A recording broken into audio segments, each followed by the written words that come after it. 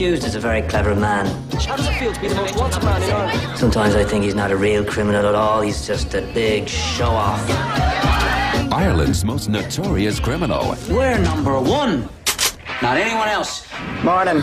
Like to make a withdrawal, please. Is planning his biggest job. Now is the time for a job I've been thinking about the last few months.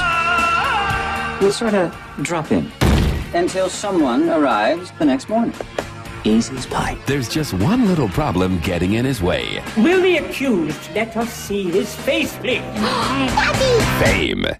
This thing of me becoming a bit of a TV star lately, I want you all to know it's not going to change me one little bit. I think you should take up painting. Why? So I'll be remembered. Nah, so you could do the kitchen. Drop the picture! Keep behind the paint. The whole country is in awe of us. Jesus Christ! I knew we were a country that respects art. Very clever. Obviously, someone that likes a gag. This is vital rest and recreation for senior officers. Someone that likes a joke.